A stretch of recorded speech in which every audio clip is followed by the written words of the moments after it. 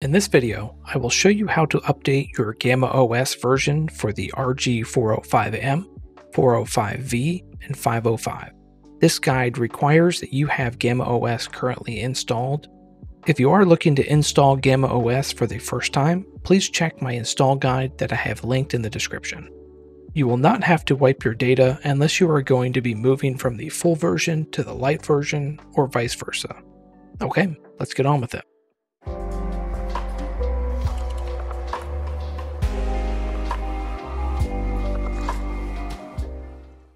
Welcome back to Phyrex Techs. My name is Henry, and we are just going to go ahead and get started.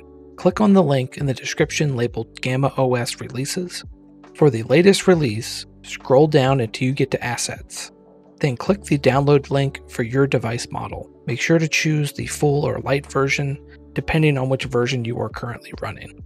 If you are not sure, check to see if you have the Google Play Store or any Google services on your device. If you do, then you are running the full version.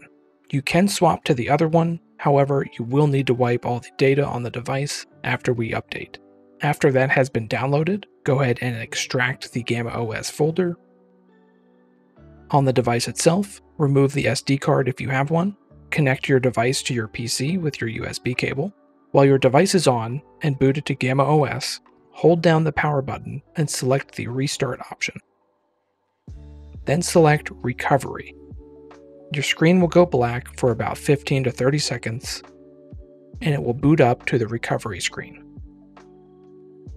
Here, you can use the volume down and up buttons to navigate to the Enter Fast Boot option. Then press the power button to select it.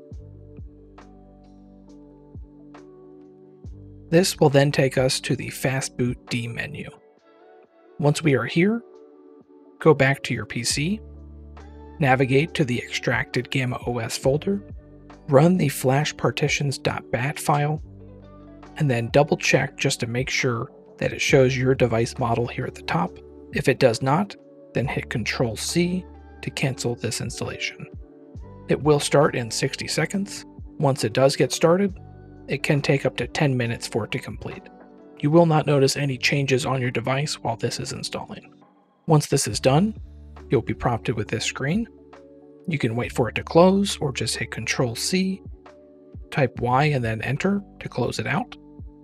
Now, if you are switching from the full version to the Lite version or vice versa, this is where you would run the erase user data.bat script.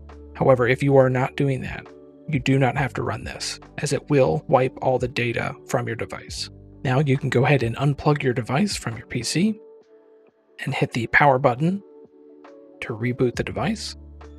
It will take a few minutes here to boot up, and then once you get to the Gamma OS screen, it will show that it is updating and take another few minutes.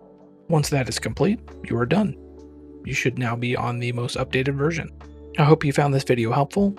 If you did, please give it a like, subscribe for more content from Phyrex Techs.